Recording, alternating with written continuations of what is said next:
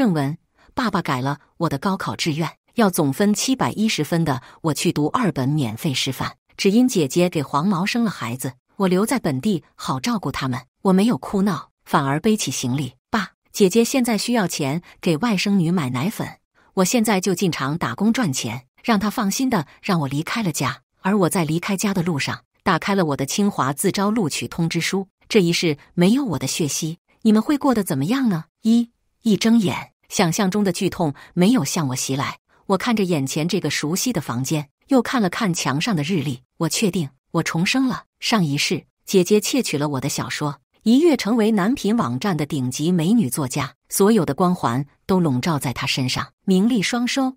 而我却因开其他马甲写文拖慢了更新速度，被她扒出身份，引导舆论说我抄袭。让他的粉丝网暴我，抑郁致死。日历被风吹动一个角，上一世所有不好的记忆涌来。我看着桌子上的数学试卷，勾起唇角。姐姐，这一世你别想再夺走我的人生。苍风，我的作业怎么还没写完？才下楼，一本厚厚的字典径直向我的鼻梁砸来。我猝不及防的被砸，抹了一下鼻子渗出的血，没有像上一世一样反驳。而是笑吟吟的拿起不知道什么时候又多出来的卷子，马上去写，马上去写。翻了翻手上三份一模一样的历史试卷，我知道苍云还和之前一样和一群混混在一起，而我则一直都是他们写作业的工具人。上一世，我为此甚至练出了五种不同的笔记。只因姐姐被老师怀疑被混混欺负，她满意的吹了吹刚做好的指甲。对了，你上次考试你比之前低了三分。我差点就不是年级第一了。你下次要是还考不好，你的房间就别想要了。没错，我和苍云是双胞胎。为了在大家眼里有个好印象，他一直让我和他考试时互换姓名。之前那次月考失误，是因为考试前一天晚上，苍云和他的混混朋友们酒驾飙车被抓，打电话让我把他们保释出来后，将我一个人扔在了大街上，被冻得发高烧，带病考试。我乖巧地点点头后。上楼继续写着作业，街上一阵肆意张扬的摩托车发动机声音响起。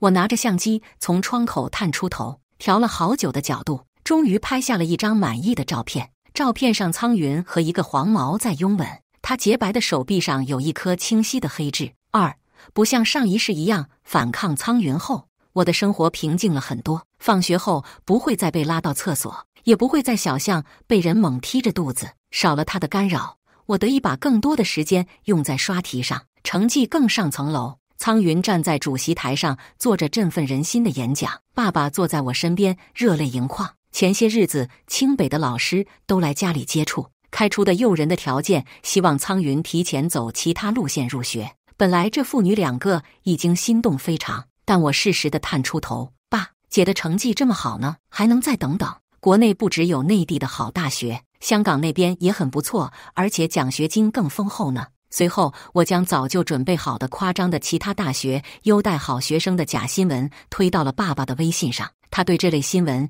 一向深信不疑，任由清北两个招生老师说的天花乱坠都不松口。老师走后，苍云不悦的皱眉：“爸，人家刚刚多好的条件啊，那不是我女儿优秀，可以去更好的大学吗？”说着。他点开关注的一堆育儿鸡娃公众号，开始跟苍云分析去香港读大学的好处。而我悄悄追上了满脸失望的两个老师，拦住了他们。我姐姐不愿意来，要不要看看我？临近考试，校园里绝大部分地方的气氛和窗外的蝉鸣一样焦躁。而我所在的班级是个特殊的存在：K 歌划拳，情侣拥吻，空气中混着二手烟，浑浊的不像话。因为苍云的成绩。我一直都在这个吊车尾的班待着。上一世因为反抗苍云的缘故，我一直被他的朋友们霸凌。但现在我就是班里的透明人，安静的坐在垃圾桶旁，写着五三外壳下的奥数竞赛题。砰！一声巨响从我身旁的门后传来。我探头一看，一个瘦弱的女孩子被人围在了中间，为首的正是苍云的好闺蜜叶琳。你的卡怎么突然刷不了？没钱了吗？她往地上的女孩身上踹了几脚。语气不善，是你们消费的地方太。我爸把卡停掉了。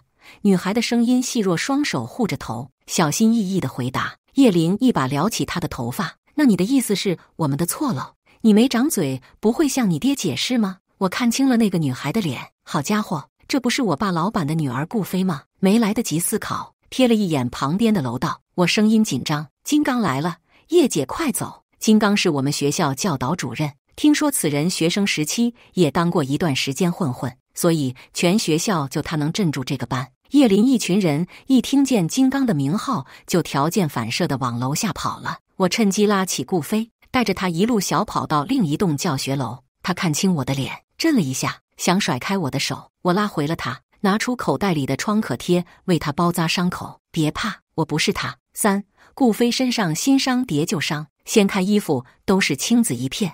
我跟他简单解释了一下我和苍云的关系，他才松了一口气，小声的说了声谢谢。看着他怯生生的样子，我很奇怪，一般的大小姐不该成为被霸凌的那方啊。后来我才想起，顾飞大小姐的身份是我上辈子得知的。这位平日在学校要多低调有多低调，不知道是怎么被人盯上的。我心疼的给他上着药。你为什么不跟你爸爸说？你爸爸让几个人退学，不是难事吧？他怔了一下，转头问我：“你怎么知道？不重要，重要的是，你真的不打算反抗吗？”他垂下头。苦笑一声，父亲很忙的，这种小事不必打扰他。何况快高考了，我不想节外生枝。顾飞的性格太软弱了，我义正辞严：不行，你被他们欺负了，哪能不让他们受到应有的惩罚？可是，但凡有一个老师知道，都会惊动父亲。我握着他的手，真诚地说：“我可以被你相信，你相信我吗？”他看着我的眼睛，轻轻点头，然后我就顺理成章的成了顾飞的秘密补课老师。借着反正我考不上大学，不如利用课余时间去做钟点工，帮姐姐攒学费的借口，我和顾飞住到了一起，也正好能够更好的学习。顾飞他爹为了他能好好学习，在离学校最近的别墅区买了个独栋，虽然离学校还是不近，却胜在安保好，还清静。他紧张的盯着屏幕，另一边的苍云一直显示正在输入中。小峰，万一他们不答应怎么办？我转了转笔，放心。他们一定会答应的，毕竟谁能拒绝一个长期稳定的饭票呢？四苍云果然同意了使用顾飞信用卡的额外条件，这个条件就是如果有单笔超过五百元的消费，都要找店家要发票并拍照。一开始苍云并不同意，弹了一个满是脏话的语音条过来，最后质问顾飞：“用你点钱还开发票？”顾飞：“不然报销不了的，这个卡走的是我爸的账。”反正没有发票，这张卡等同废卡。这个月用了，我爸下个月一定会停掉，并且附上了我 P.S. 顾飞和他爸的聊天记录。苍云为了白嫖，还是同意了。好，要是我这个月给了发票，下个月卡用不了了，你给我小心点。周末一回家，我就看见苍云拎着新买的 Miami 包在客厅凹着姿势拍照。我看见那个包，笑了笑。姐，我路过香奈儿专柜的时候。看见里面新上的一款包特别好看，特别适合你。他翻了一个白眼。用香奈儿的不一定是真千金，但用迈阿密的家里一定不差，懂不懂啊，土狗？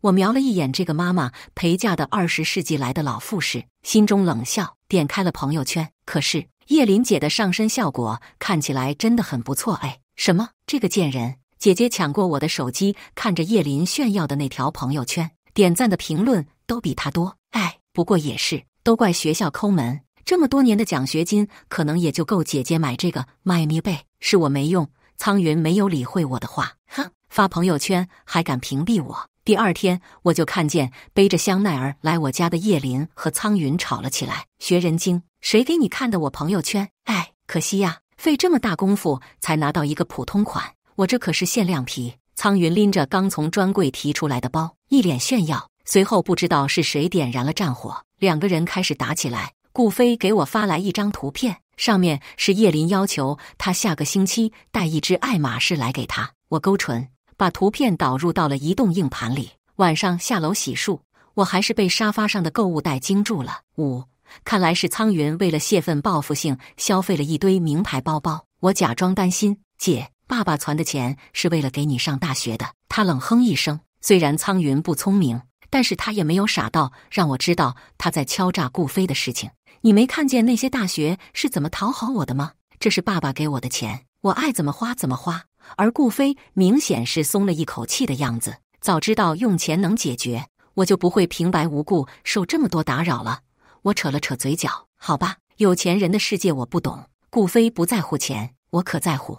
我仔细的存着苍云和叶林勒索顾飞的证据。现在他们不知道，这些礼物暗中早就标好了价格。苍云发现顾飞的卡，只要提供了发票，就几乎可以无上限消费。后他也不在家里住了，而顾飞的卡上多了一笔长期的酒店消费记录。不过爸爸因为工作也长期不在家，所以没有其他人发现苍云也住出去了。外卖的记录也多了，大多数时候都是双人的。我知道他这是和他那黄毛男友住在了一起。说来真的和小说一样，苍云和她的男朋友属于一堆男混混和女混混的配平文学。当时一堆人谈着玩，没想过当真的那种。结果苍云还真和他看对眼了，两个人谈了这么久也没说分手。后来那黄毛不想上学，就去汽修店当了洗车小弟，时不时骑着个改造鬼火来找苍云。苍云不在家，受到的打扰就更少了，埋头在题海中，几乎摒弃了一切外界打扰。越临近高考，天气越热。有一天下课，我正在当着透明人写着题，苍云的班主任突然来门口找我。他问我：“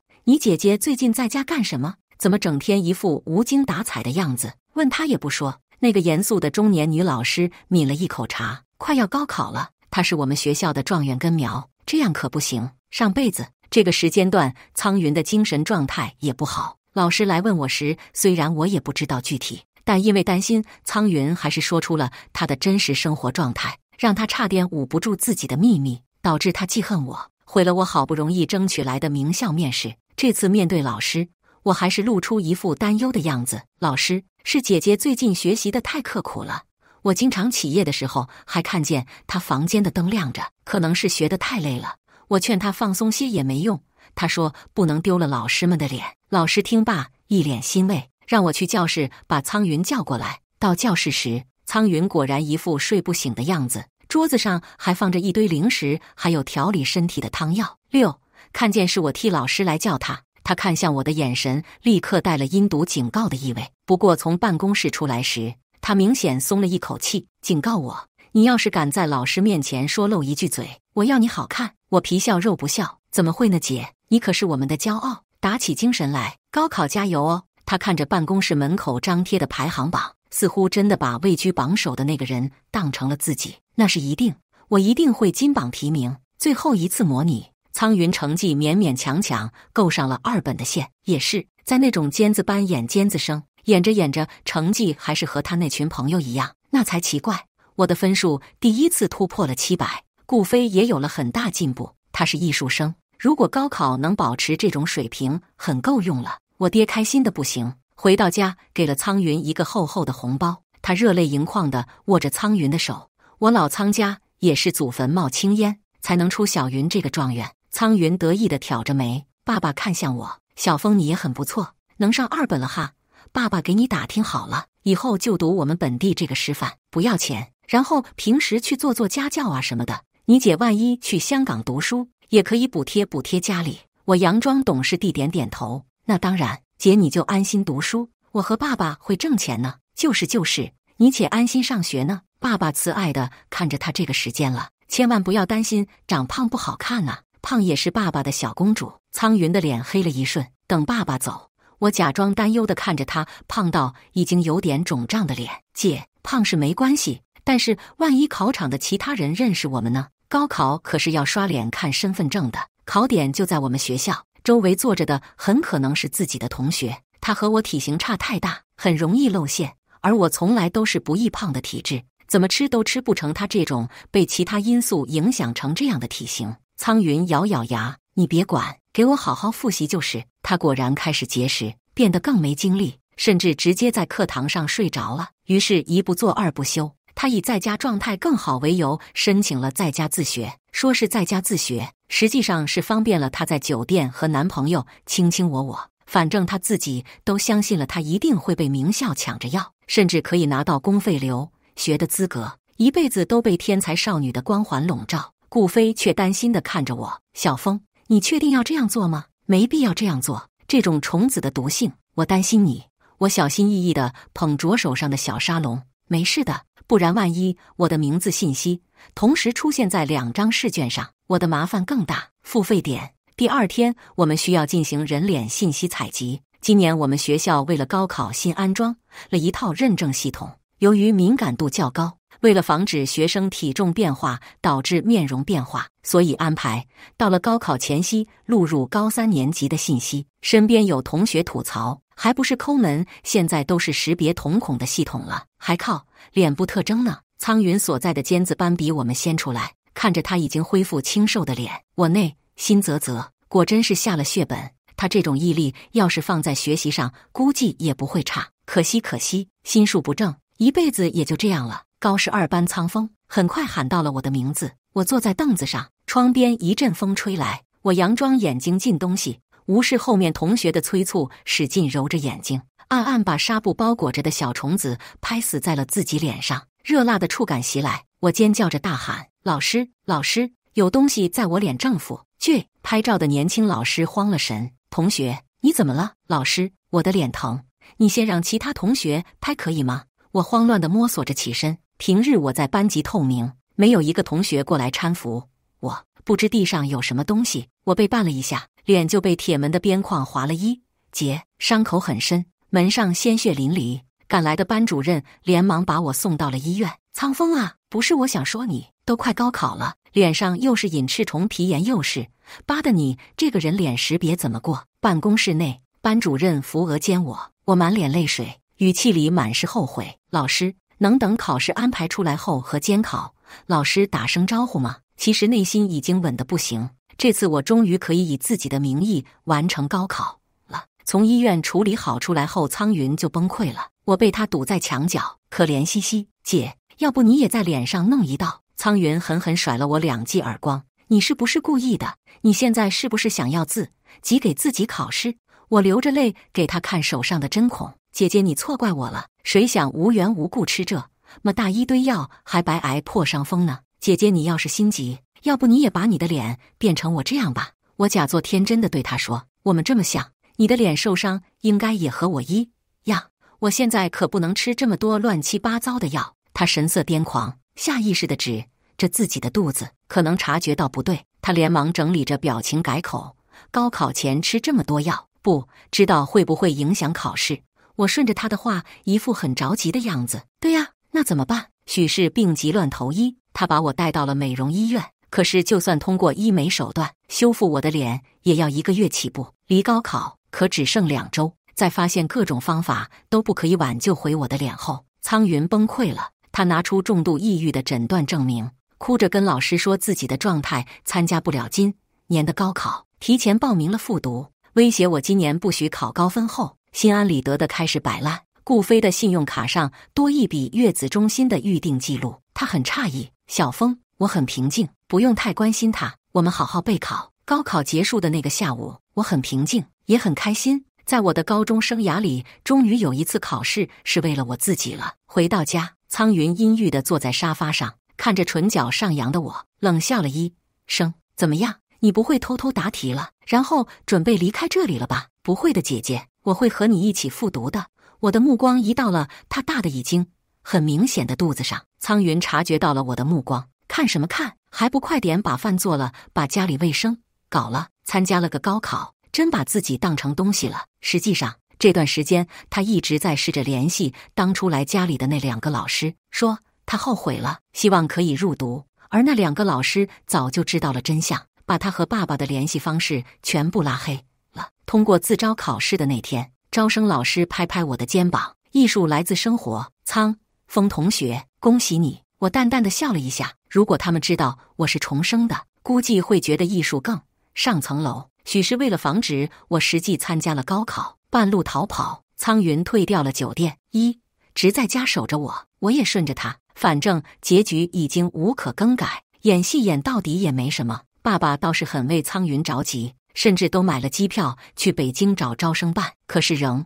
无济于事。苍云听见他自责的话，只会暴躁的在家砸东西。都怪你，都怪你！要我去什么香港，害得我还要多待在这破地方整整一年。他整个人变得敏感暴躁，甚至他那小男友都压制不住他。高考出分的那一天。他死死的盯着电脑屏幕，手臂环住我的脖子。苍风，要是你超过了三百分，他的指关节骤然缩紧。我笑了一声，按下了回车键。苍云看着页面一片空白，才满意的把手从我脖子上挪开。这才对啊！天才说的永远是我苍云，你苍风永远都是我的陪衬。他整个人放松了下来。听见门铃响起，心情难得好的去打开了门。迎面而来的摄像机却让苍云呆在了原地。适才中学的校长春风满面的对着摄像机声情并茂：“这就是我们省状圆的家，梅花香自苦寒来。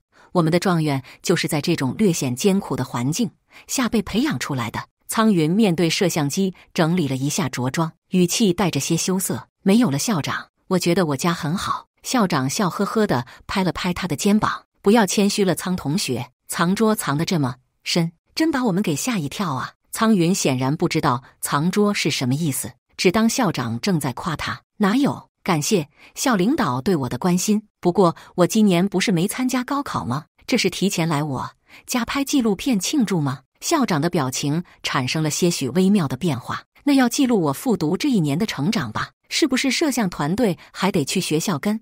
拍会不会影响到各位同学的学习？苍云撩了撩耳后的头发。校长，其实我自己在家自学也是可以的，这样拍摄工作可能方便一点。校长保持着礼貌的微笑，拍了拍他的肩膀。苍云同学，你妹妹呢？她今年高考刚查完成绩呢，结果页面一片空白。苍云换上了一副不屑的表情，觉得丢脸，正在房间伤心呢。苍云顺手给校长指了指我房间的位置，校长眼睛一亮，挥了挥手，招呼摄影师和记者上了楼。哎呦，苍风同学，你真是给了我们一个惊喜！校董特意赞助了你的庆功宴，你们整个年级的同学都可以来参加，你千万记得来哈！校长红光满面，激动的和我握手。等苍云从蒙圈的状态缓回来，赶上楼时，拍摄工作已经结束。校长叹着气，拍着苍云的肩膀：“没事的。”苍云同学，你有个这么优秀的妹妹，再来一年，我相信你也一定可以的。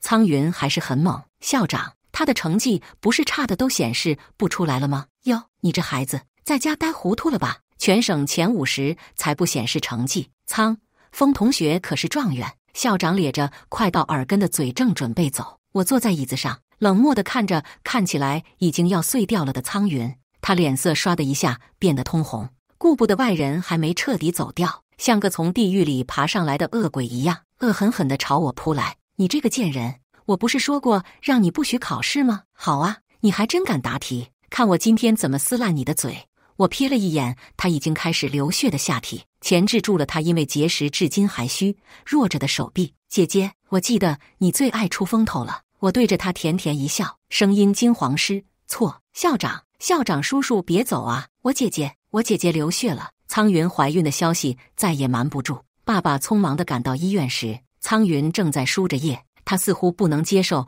自己心中这么完美的一个女儿未婚先孕，落上了不好的名声。看见爸爸回来，苍云像抓住了救命稻草。爸，都是苍风害我，是苍风害我。对上我爸怀疑的眼神时，我怯怯的低下了头。不是我，我只是正常参加了高考，没想过会成省状元。特意加重了“省状元”三个字的读音，苍云听见立马喘不过来气。爸爸垂着头，看不真切脸上的表情。孩子谁的？苍云流了一脸眼泪，咬着嘴唇不说话，看向我的眼神里满是怨毒。自从爸爸回来，病房里少了苍云对我的咒骂，他开始像个贞洁烈女一样寻死觅活，任凭爸爸和老师如何追问孩子。父亲，他永远咬着嘴唇，一言不发。直到一篇文章开始在网络上火爆，标题是“恶毒妹妹为高考夺魁，雇农民工诱奸学霸姐姐”。顾飞翻着评论区，拿起了电话。我现在就打电话给爸爸，让他压下去。不必，现在赶快去打印信用卡消费的证据吧。我拦住了顾飞，对他很无所谓的一笑。既然苍云自己撞上来要作死，那让他死得更彻底一点。我的个人信息很快就被人肉。每天都有无数个骚扰电话打进来，干脆断了与外界的联系，安心的在顾飞的住处和他一起整理证据。爸爸也相信是我害了苍云，每日在媒体镜头前控诉我。顾飞看新闻时愣了一下，这不是父亲的司机吗？我乐得简直要鼓掌了。好啊，这父女俩怕是一辈子都要给顾飞家打工。苍云妹妹，你冷静，别想不开啊。对呀，正义会迟到，但不会缺席。你现在结束生命是便宜了那群坏人！苍云站在了医院的顶楼上，脸色苍白，头发凌乱，他声音虚弱。可我已经没有什么活下去的理由了。他躲得这么好，我要去哪里申冤呢？我大咧咧的从顾家的车上走了下来。姐姐，谁说我要躲了？群众看见我出现，情绪被点燃，咒骂声此起彼伏。苍云更是激动的几乎要跳下去。我知道他不敢，他还没把我毁了，怎么会想先结束自己？我这个姐姐从来都是这样，沐浴在所有的爱里，并把一切当作理所应得。上辈子。我觉得他就像天生的气运之子，无论怎样的局面于他而言都是有利的。可是那气运是我的，我现在就要夺回来。姐姐，你说是我找的人让你怀孕了，对吗？那你说说，这些产检消费和预定的月子中心也是我在逼你的喽？苍云的脸色激一下惨白，消防员和医生趁机把他拉了回来。顾飞拿着打印好的消费记录给周围的群众传阅。苍云看见顾飞出来。尖叫一声！你们早就打算好了，打算好了，对不对？是你自己霸凌勒索我，我只是实事求是而已。怎么会知道你除了霸凌同学，还会敢造谣呢？顾飞很平静地说。周遭瞬间安静下来。我的天，反转来的这么快！话说苍云不是说他是学霸吗？你傻，他和他妹妹是双胞胎，高考都可以互相替考的那种。苍云还在垂死挣扎。你怎么知道霸凌你的人是我？苍风可跟我长得一模一样。我亮出他和黄毛拥吻的照片，模糊的像素显示他手臂上那颗清晰的黑痣。姐姐手臂上可没有长痣哦。顾飞也拿出一段苍云和叶林霸凌他的录像，此刻手臂上的黑痣成了苍云的污点。苍云的瞳孔缩了缩，沉默半晌，突然大笑起来：“我手臂上哪有黑痣？哪有？”他挽起袖子。使劲的搓着手臂，哪怕顶楼的风把他皮肤吹得通红。消防员和医生看他的行为似乎已经不能自控，连忙把他抱回了医院。苍风，苍风，明天你把黑痣给我点上，对，和我一样的那颗。来吃瓜的群众都惊掉了下巴。我去，听他这语气，平时应该没少欺负他妹妹。颠婆，刚刚照片上不是还在跟黄毛亲嘴吗？和黄毛过去，别祸害妹妹和同学。经此一役，爸爸丢掉了工作。顾飞父亲震怒，但念在我爸在他身边工作了这么多年，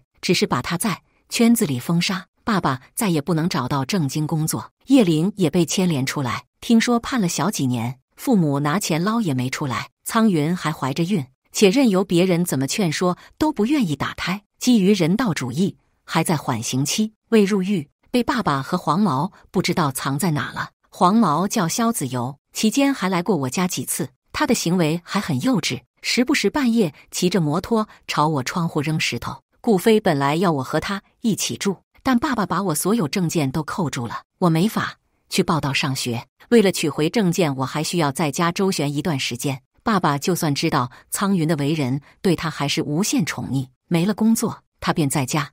里每天做着一些手工活，时不时不忘对我嘲讽几句，害死了自己妈妈，又害了自己姐姐。我这个状元还真让祖坟冒青烟，真是可笑。到现在，他还是把母亲的死怪在我头上。母亲是死在产房里的，当年她大出血难产，因为先出生的是个女孩。爸爸和奶奶想着再赌一把，可是由于孕期营养太充足，我和姐姐的体型都过大，外婆外公都被。叔叔们在外拖着，又没有家属签字同意剖宫产，妈妈是活活的被拖死的。爸爸一直不愿承认妈妈是因为他们而死，所以一直把这个错归在了晚出生的我的身上，而愧疚则让他十分疼爱先出生的苍云。所以，就算苍云惹上了牢狱，他还是对我说：“你和你姐姐是一母同胞的姐妹，你姐姐哪哪都不如你。等你脸好了，能不能代替她进去？”你尚且还有在社会生存的底气，可她呢？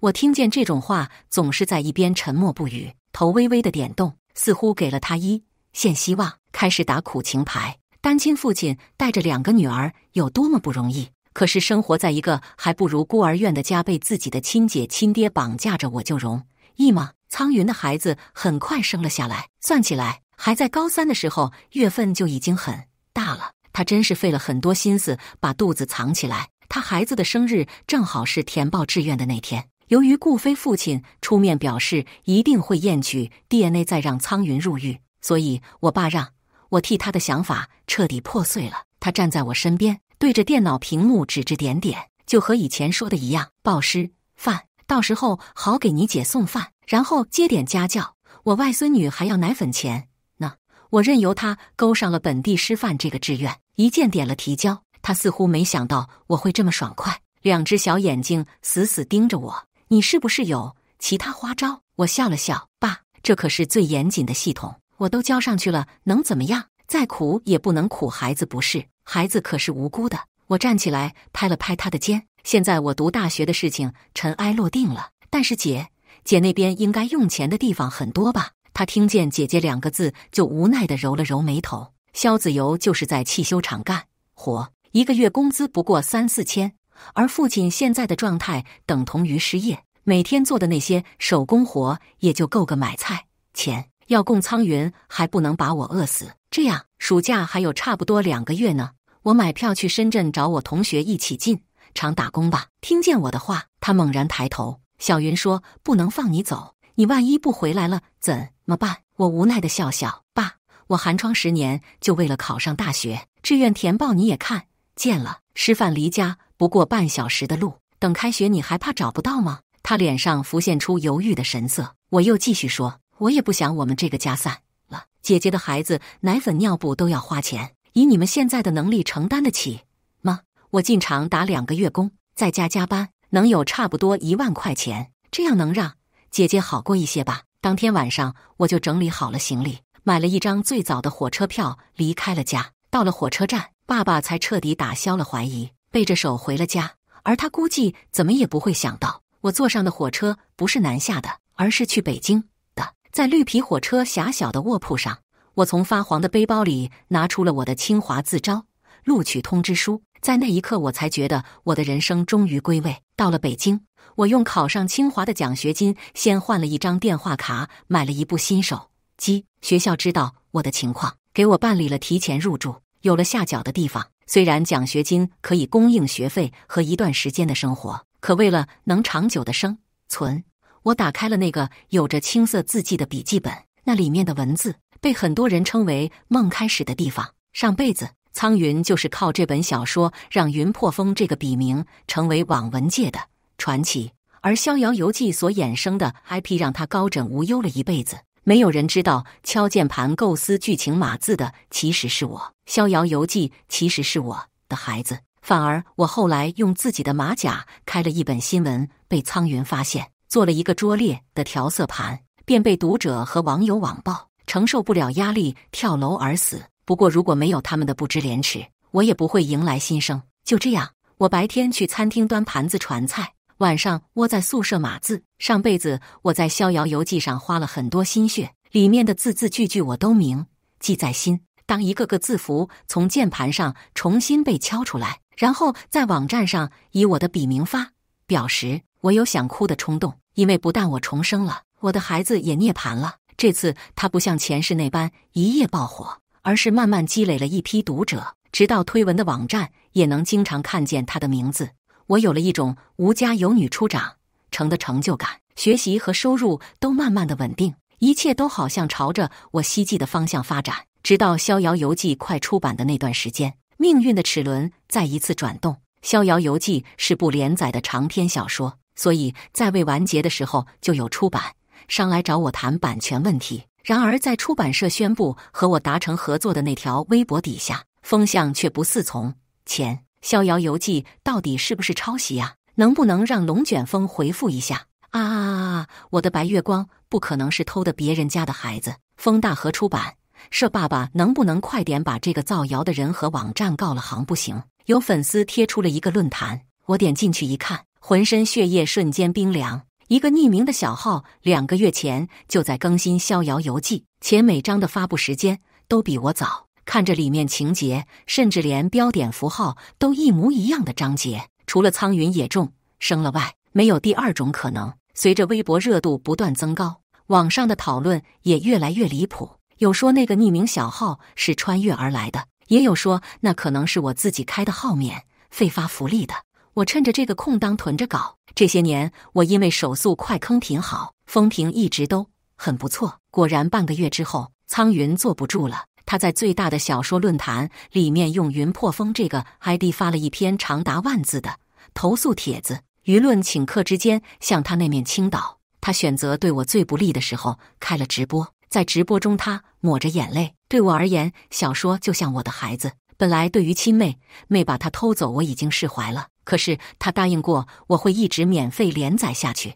我辛辛苦苦写出来的孩子，怎么能染上铜臭味？听到这句话，坐在电脑前的我喷了一口水。他脸皮真是厚道，能说出这种话。前世《逍遥游记》都被他卖给以魔改著称的电视剧导演了，现在说看不得孩子沾染铜臭味，我看是见不得自己从神坛上跌落，见不得我有钱而已。这场直播后，网络上对我的骂声更大了。连带着和我关系密切的圈内作者也被举报到账号异常，甚至有技术宅开了我的盒，时不时还有同校的同学来我宿舍门口送花圈，而我还是囤着稿子，静静的看苍云演戏。他利用网友的同情，开着募捐，颠倒这些年的黑白，努力把自己描述成上辈子的天才学霸、美女、网文大手，时不时发一些酸唧唧、一看就没什么水平的随笔。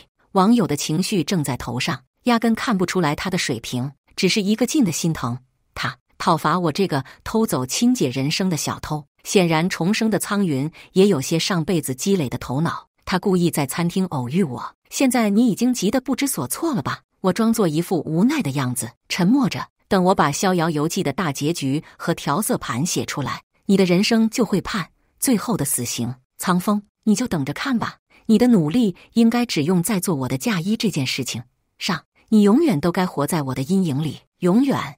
我和他的庭审被全程直播，苍云站在原告席上，一脸的志在必得。法官清了清嗓子，看着手上的材料。被告，根据原告提供的证据，你可承认自己的所作所为？我勾了勾唇。法官，我要求第三方机构鉴定这个本子上的字迹和时间。律师递给了法官一个发黄的本子。苍云嘲讽的笑了笑，什么乱七八糟的证据也递上去，不是在浪费时间吗？随后，摄像头对准了本子上的内容，苍云的指甲瞬间掐进了肉里。上面是我中学时期对《逍遥游记》的整体构思，还有手写的前面的一些章节。果然，这个本子在你这里，你这个小偷！苍云整个人演技爆发，当庭哭着想向我扑来。法官连忙整顿了秩序，把本子放进密封袋里。法官。这是我的本子，我有权将它要回来。苍云想摆脱身上的钱质，把本子夺回自己手中。上一世，苍云是偶然看见我存在手机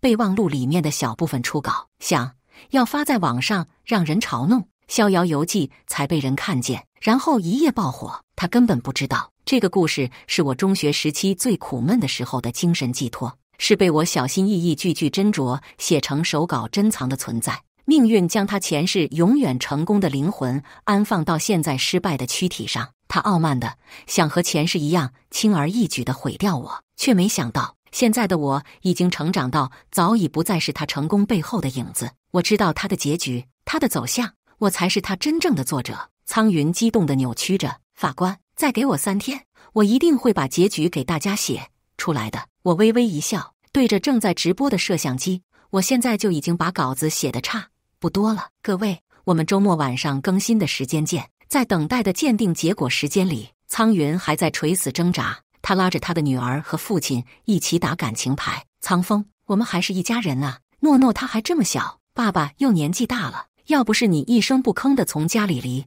开，我怎么会想到这个办法呢？你现在成功了，家人对你来说就是负担了吗？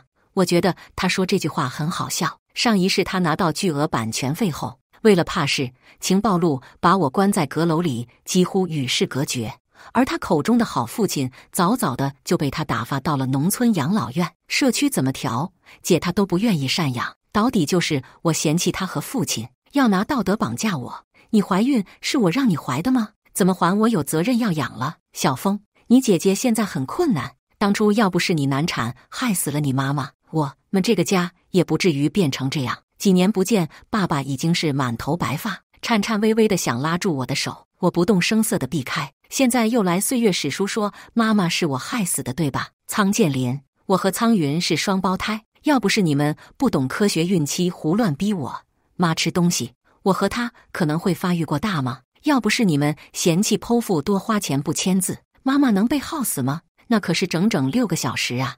你们站在门口听他求饶的声音，听得很爽吗？我冷笑着说：“可能因为情绪上头，表情过于扭曲，把诺诺吓哭了。我才没害死我妈，这个锅我背了二十几年了，信不信我急了把你们都砸死？”苍建林见我表情不对，连忙把苍云拉走了。之后虽然一直在打温情牌，但我申请了警察介入，不了了之。鉴定结果出来，苍云也彻底没有了精力，因为诽谤再次入狱。上辈子萧子游因为自己是软饭男，对他很是关爱，但这一世他的光环消失后，萧子游渐渐不耐烦，结婚后更是频繁的家暴他。对现在的苍云来说，监狱是比家更好的去处。苍建林则求着老东家给了他一个保洁的活。见过我发疯之后，他的良心似乎复位了。萧子游不要诺诺，他便带着诺诺。虽然生活清苦，但留在家乡也还算过得去。苍云入狱那天，他背着诺诺来见我，以后不会再打扰你了。这一切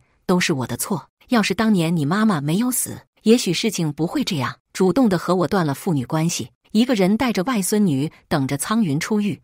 我把《逍遥游记》后续一口气放出来后，整个人都松了下来。看着他被越来越多的人喜欢，我欣慰的不行。这一世我只卖掉了他的出版权，毕竟人嘛，还是要生活。我只想躺平，和已经成为知名漫画家，同样也只想躺平的温柔大小姐顾飞两个人，缩在一座小城里隐居，偶尔旅旅游，看看其他风景。还在网站开了个治愈系新坑，我负责写，他负责画。再次听见苍云的消息，我唏嘘了很久。他出狱后。或许是精神受到了打击，把一切的错误都归结在了溺爱他的父亲和萧子游身上，把他们谋杀后，自己带着孩子在家自焚。孩子是救出来了，现在被爱心夫妇收养了。苍云却被烧成了一把灰。顾飞担心我会因此受到影响，我却摇摇头。这世间因果轮回，我也只是看客。何况我现在手拿的可是大女主剧本，还有更灿烂的天地等着我去开拓呢。